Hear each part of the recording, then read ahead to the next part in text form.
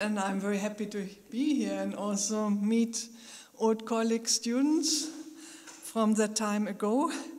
And this is a topic um, I think I never gave a presentation on that, and it was, but somehow it was fun to to think about it and what discussion we had 40 years ago, and also at the census in '87. Um, how naive um, um, many people were at that time and what we have learned afterwards.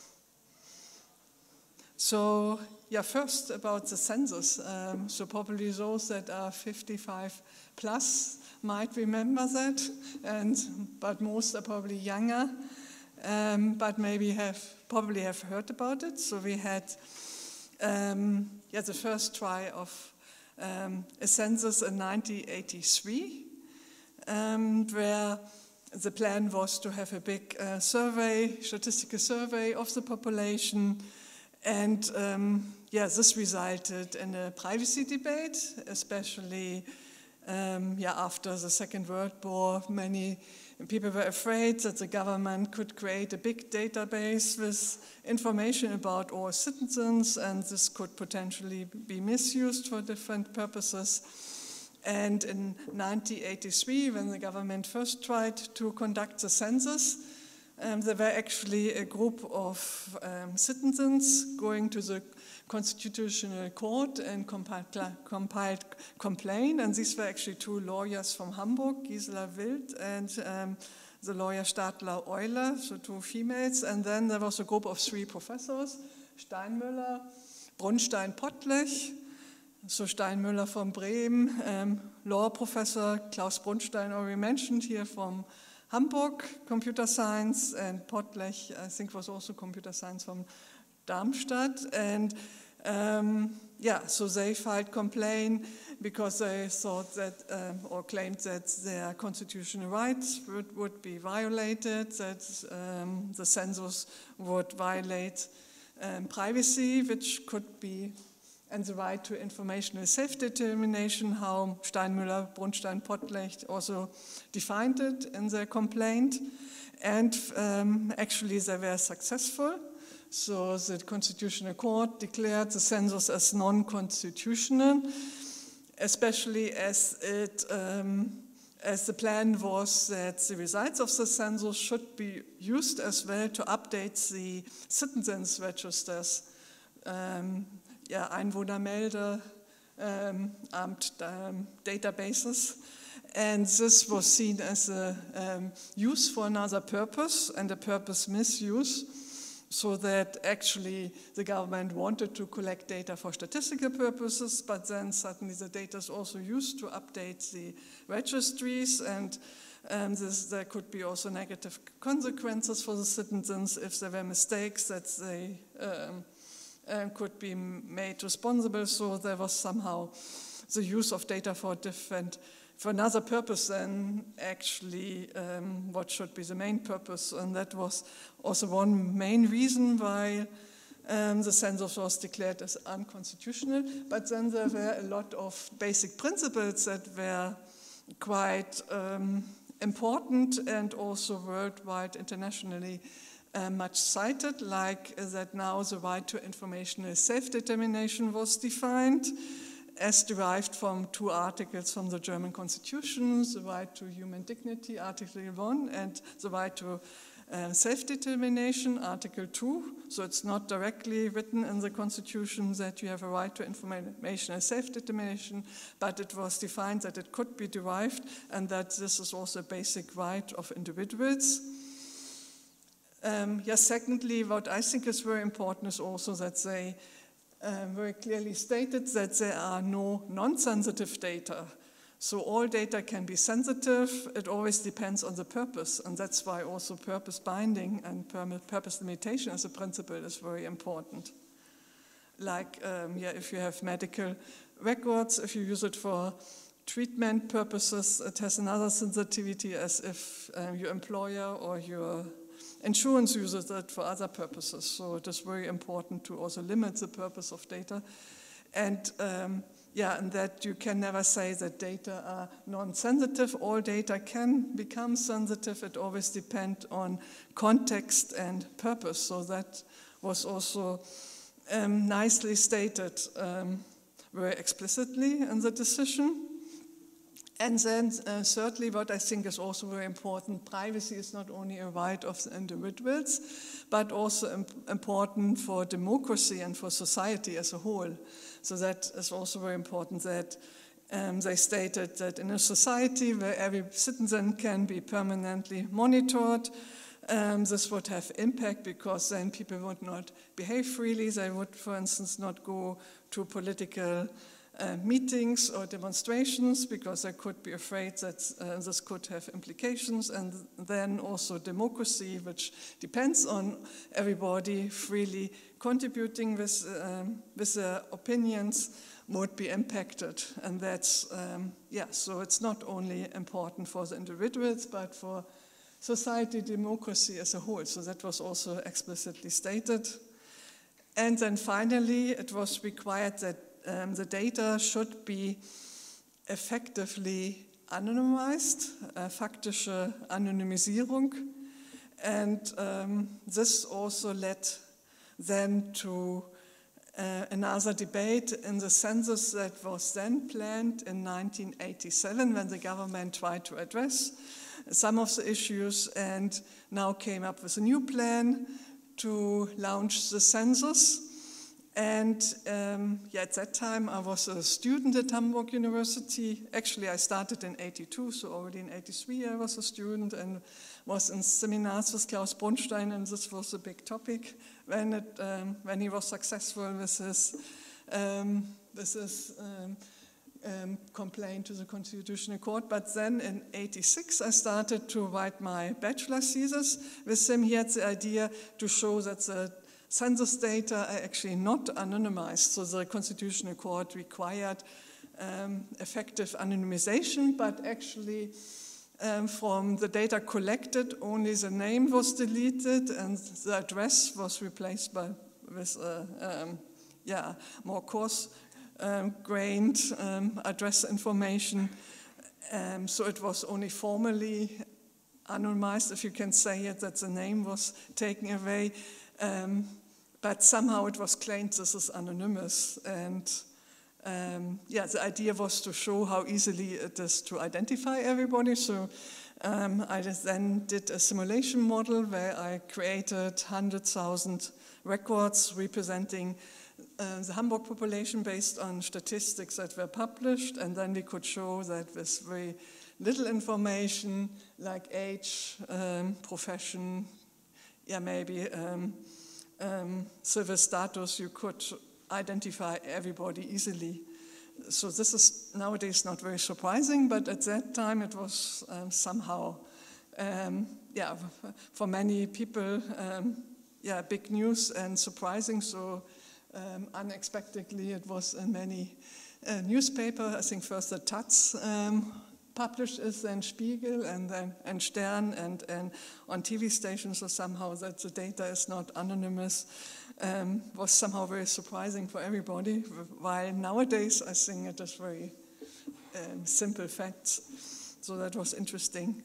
And then we also, in my master's thesis, I also worked on how existing databases could be used for statistics as an alternative to a census in a privacy preserving manner, that you could um, use it um, um, or statistically or derive statistics that cannot be correlated to identify people because statistics as such are not anonymous either because if you correlate different statistics you could usually uh, still come back to individuals, and so we, so um, we had, uh, yeah, so that was another investigation. But um, yeah, I think most interestingly um, that it was big news that the data is not anonymous. It ended in a um, in parallel, there was also a big um, debate, boycott, um, also of political parties, the Green Party, um, the um, the young um, social democrats,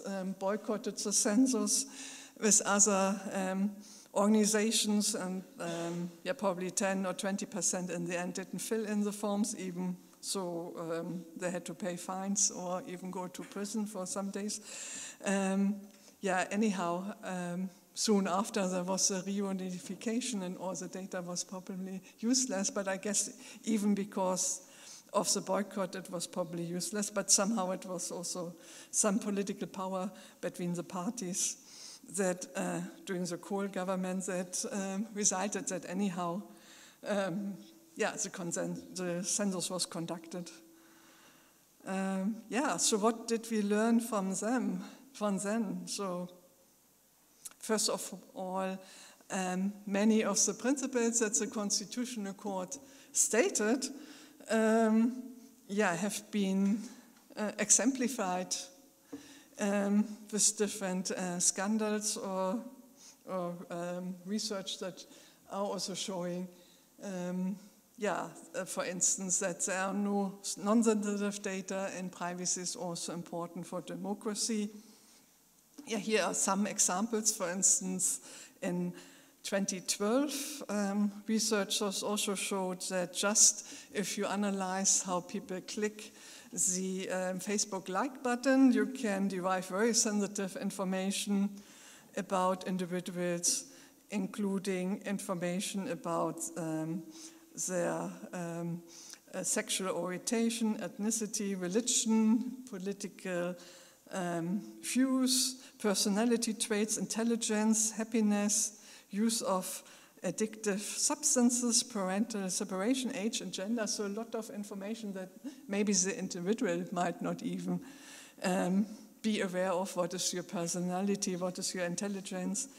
Um, so, um, with big data analysis, and now, now that is also now more than 10 years ago with artificial intelligence, it's even more easy, easier to derive very sensitive information from very little data. So it really shows that data uh, can be processed in ways that um, even if maybe data items like, like how you click um, like buttons per se, um, users do not think that it's very sensitive, but then it can have huge implications. And yeah, another scandal that you probably still remember is also Cambridge Analytica that got data from Facebook users about their profiles, also some kind of personality test that they did where the users um, believed the data would be kept confidential, but they were anyhow given to Cambridge Analytica that analyzed the data, and then the results were used in the US American elections and also helped the Republicans to address potential voters during the election where uh, Trump was finally winning. So you can see also other examples how privacy, that demonstrate how important privacy is actually for democracy. Then, um, yeah, secondly, deletion of directly identifiable data is not anonymization. So even if you try to anonymize the data, it is very likely that it is not anonymous in the end. Re-identification is always easily possible. So Latanya Sweeney actually showed very similar results as we did for the German census. So for, she used the 1990 US census data to formally show that 87% of the US population can be uniquely identified just with the gender, zip code, and full date of birth. So, yeah, no surprise. But, um, yeah, 15 years ago, still people, yeah, there were some data breaches because companies were um, still not fully understanding that, yeah, just by deleting names or other directly identifiable data, you could anonymize data. So maybe you have heard about the AOL, American online incident. So they, in 2006, published a data set with search queries from at about 650,000 users. So they just deleted the name or replaced it with a unique number and were assuming that it was, would be anonymous. And, but then you had very um, sensitive profiles of different searches. And um, yeah, at that time, a reporter from New York Times um, tried to track down um, yeah, one individual that they selected under a certain number. Um, so, and then um, looked at the search queries, which included topics like um, uh, 60 single men, numb fingers, and um, dogs that urinate on everything. So, a lot of different um, search strings. And they also succeeded finally to track down this individual under the number 4417749, and that was Thelma Arnold. Um, yeah, she was also surprised that suddenly the reporters visited her, and, but she agreed also to publish her story. So, of course, if you have a, a profile of different search queries, very detailed, uh, with some additional knowledge, it's very easy to identify these people. So, yeah, America Online also had to take down this database and apologize. Similar thing happened with Netflix in the same year. They also released 100 million ratings from uh, 480,000 users and claimed that the data would be anonymous because they removed the names. But then uh, other researchers showed that you, if you match one data set with another data set, it is still very easy to identify everybody. So they took another film rating database, IMDb database, and yeah, it, um, it, was, um, it could be calculated that Netflix data, that for Netflix data, not two um, records are similar, more with more than 50% of the data. That means also if the profile can be matched to up to 50% similarity to the profiles in that other database, um, IMDb, then the adversary can identify the profile with a good likelihood. So they could also show that um, just by matching the Netflix database with another database, they could identify, um, yeah, um, most users. So another uh, data breach because the companies didn't understand that um, anonymization is much more difficult at that time. Then there were other findings that uh, came up. Um, yeah, you probably also heard about um, browser um, fingerprinting.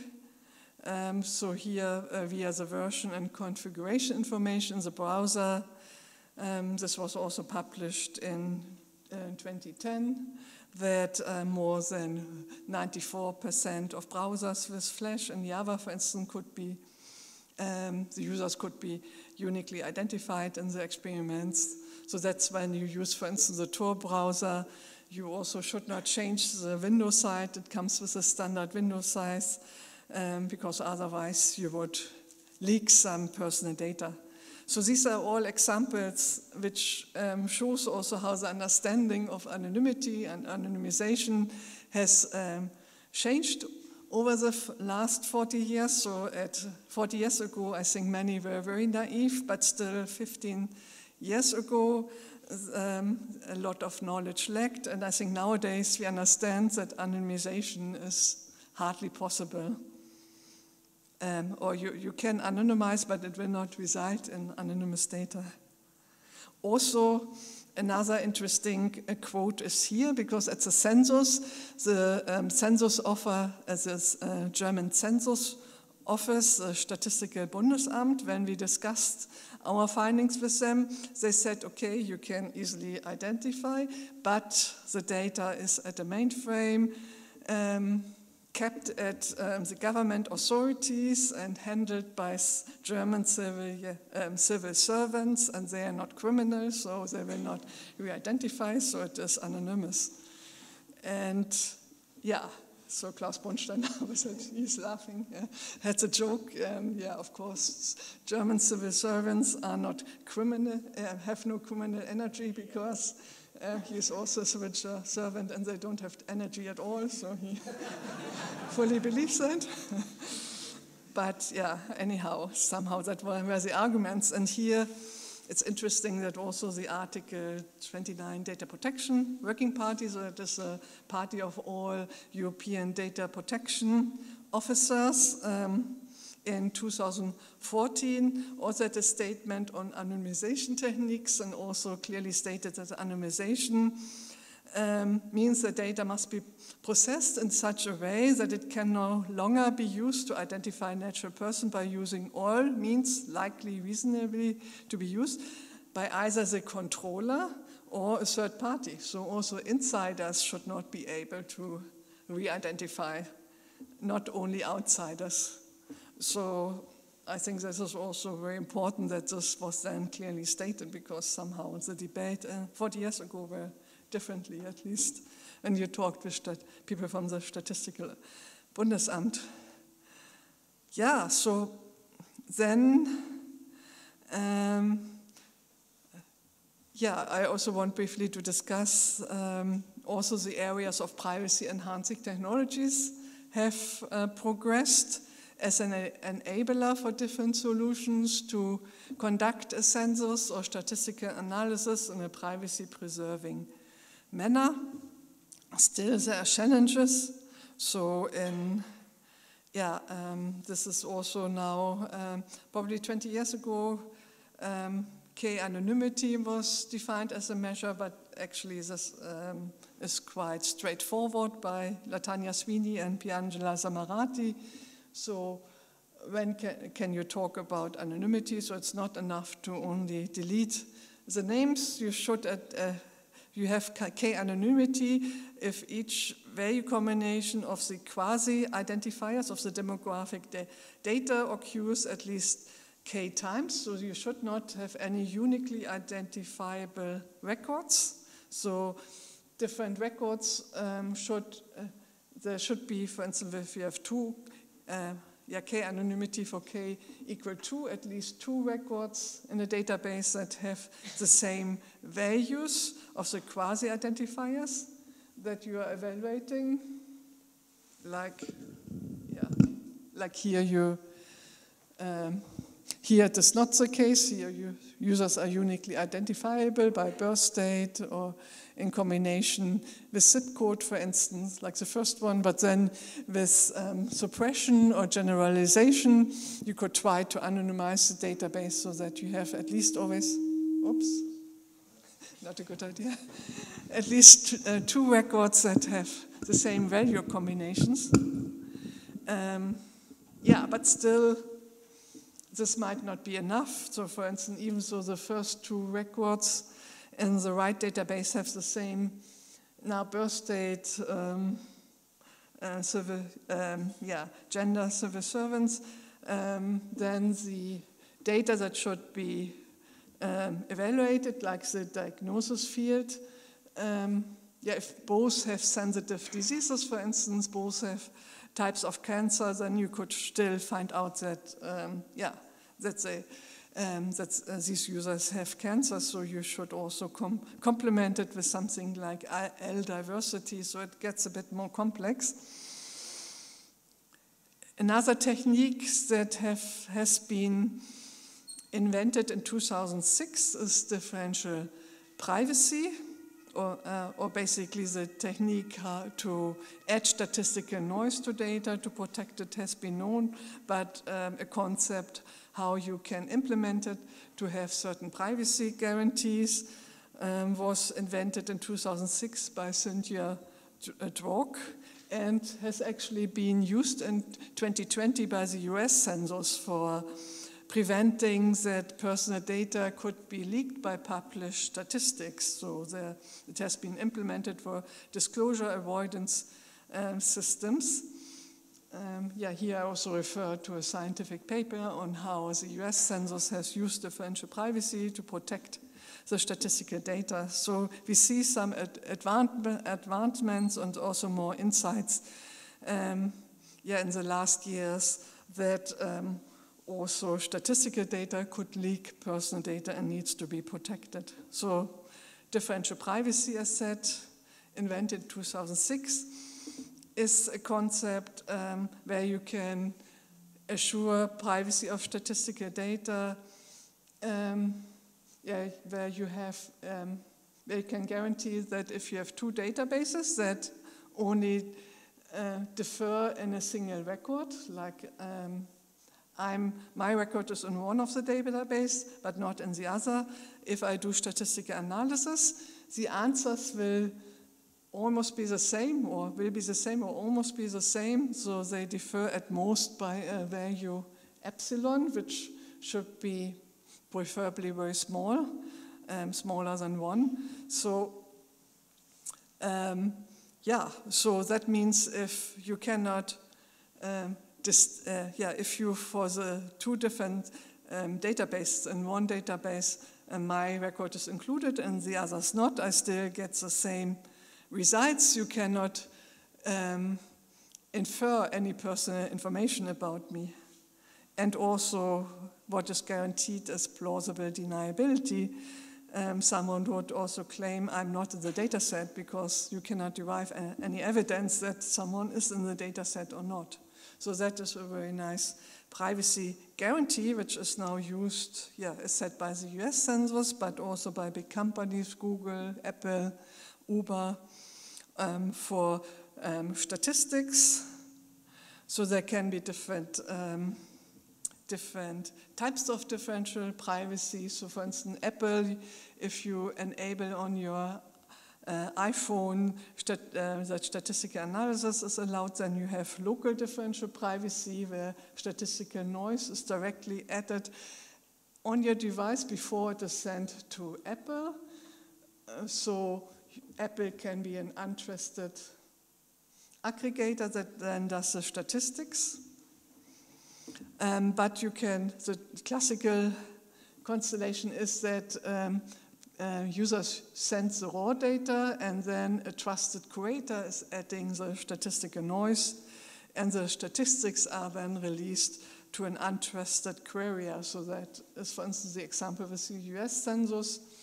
Also, um, differential privacy can be used for um, for um, for collaborative learning, for, um, where uh, in order to protect um, statistic uh, yeah, machine learning models, because from a machine learning model that is trained, you can also derive personal data. For instance, membership inference uh, attacks can be conducted. So if you have trained a statistical model, um, a machine learning model on um, medical diagnosis, where different users have contributed to the training with the data, then later it could be found out with um, membership inference attacks, oops, who contributed to the with the data to the statistics, and then you could find out that someone has this, uh, for instance, a certain disease. So um, also for machine learning models, differential privacy can be used.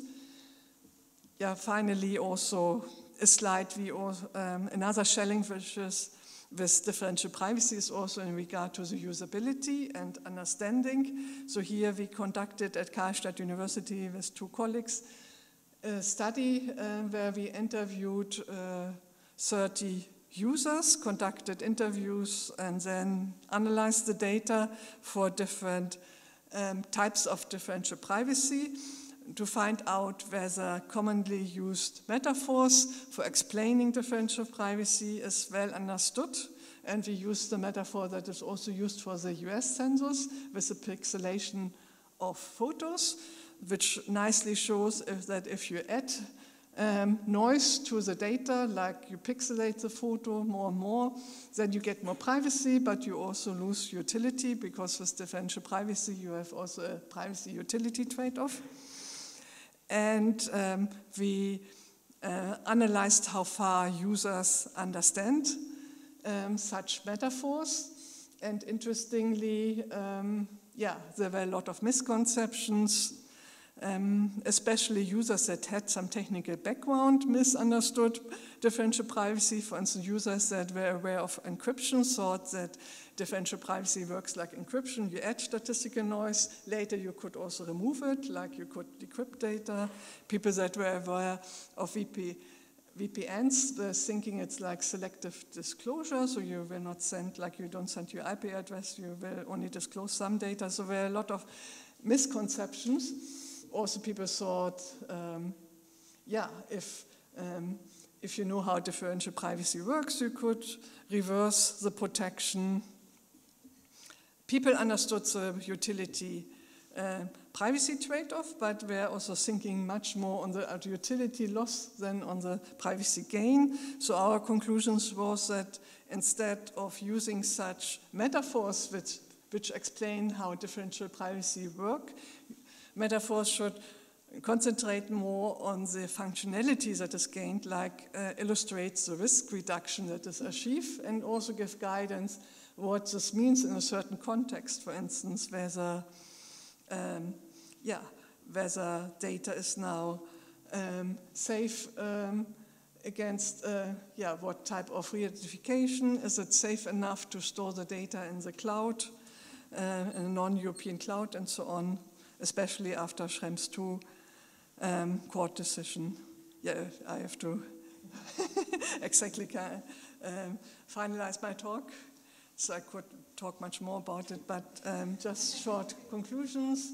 Census debate decision, important milestone, lessons learned. Anonymized data can never be totally anonymous. So we were very naive 40 years ago that uh, many people were yeah, very much surprised um, by this fact. PETs can minimize risks, but they come with utility tra um, trade-offs and usability challenges. And um, yeah, nowadays in Germany, I understand that the census is used based on existing registers um, together with the sample collections. That is actually what we also suggested in um, 87. Um, yeah, at that time people say, yeah, for this you need uniquely identifiable, um, uh, unique identifiers, like we have it in Sweden, a personal number, and this was in Germany not accepted because it allows to easily profile everybody under a unique number. I think nowadays with artificial intelligence, uh, anyhow, we don't need these numbers to uniquely identify persons. So um, I think we also have to change perspectives here. But yeah, thank you very much. Unfortunately, I'm two minutes over time. no.